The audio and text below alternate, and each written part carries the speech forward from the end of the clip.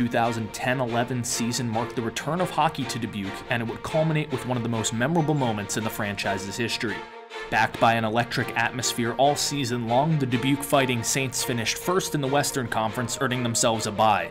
They then swept the Fargo Force and beat the Sioux Falls Stampede in four games to advance to the Clark Cup Finals. At home and up 2-1 in the series heading into Game 4, Dubuque wouldn't let the Clark Cup Finals see a fifth game. Saints to full strength, and they've got the championship in Dubuque. The championship made for a storybook ending in Dubuque's return to the USHL, and it once again cemented the Fighting Saints as one of the top teams in the league.